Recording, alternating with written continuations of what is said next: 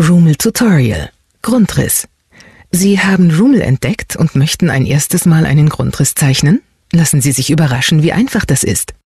Sie beginnen mit dem Zeichnen der Wände. Wählen Sie das Zeichenwerkzeug, den Stift und ziehen Sie per Mausklick eine Linie auf der noch leeren Fläche. Ein zweiter Klick beendet die Linie und Ihre erste Wand steht. Wandstärke und Wandfarbe legen Sie in der linken Leiste fest.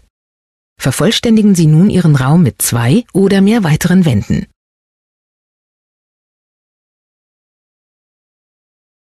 Das Auswahlwerkzeug hilft Ihnen, eine bereits gezogene Wand immer wieder zu aktivieren, verschieben, verkürzen, verlängern, bis sie genau dort ist, wo sie sein soll. Keine Sorge, Verbindungen zu anderen Wänden bleiben erhalten.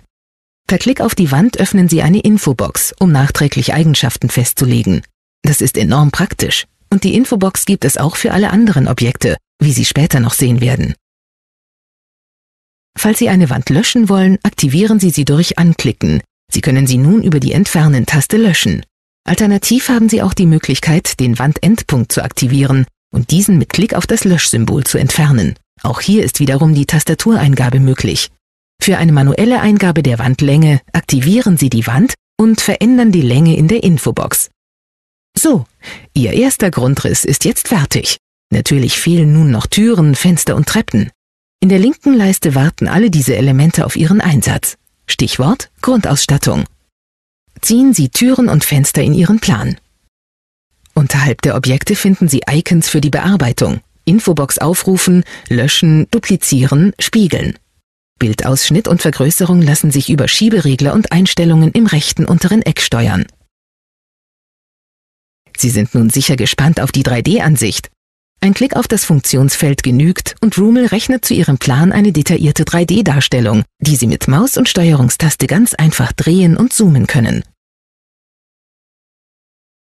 Es wird nun Zeit, ans Speichern zu denken. Dazu wählen Sie im Menü Datei den Punkt Speichern. Speichern setzt voraus, dass Sie sich am System anmelden. Benutzername und Passwort eingeben, fertig. Sie haben noch keine Zugangsdaten? Dann finden Sie rechts die Roomel-Registrierung und die geht zum Glück ruckzuck. Und? Haben die ersten Schritte Spaß gemacht? Ja? Gut. Eines noch. Wenn Sie einen fertigen Plan haben, lässt sich das Zeichnen auch vereinfachen oder überspringen. Die JPEG-Datei unter Planvorlage hochladen und Sie können abpausen oder sofort zum Einrichten übergehen.